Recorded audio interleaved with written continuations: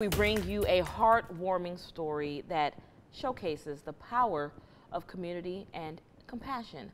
In a world where new motherhood can often feel isolating, one determined woman has stepped up to make a difference, one meal at a time.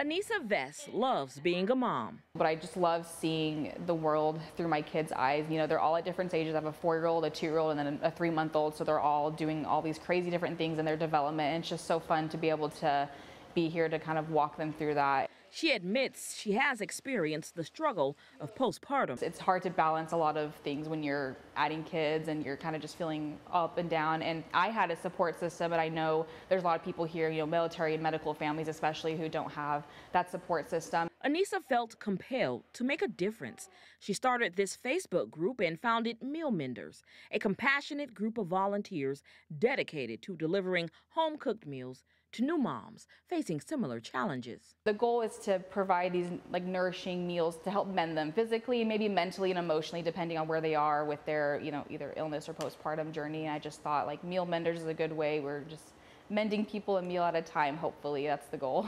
they started taking online orders on September 9th.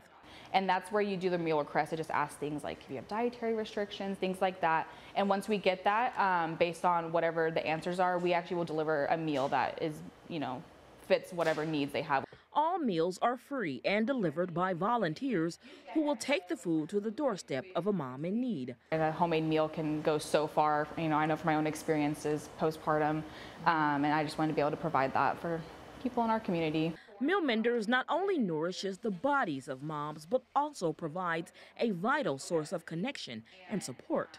I just hope that women don't feel afraid or ashamed to ask for help, that it's okay to be taken care of. And that's why this group is, exists for women specifically, you know, so that we can help you and uplift you because we know what you're going through and you don't have to, you know, carry that burden by yourself.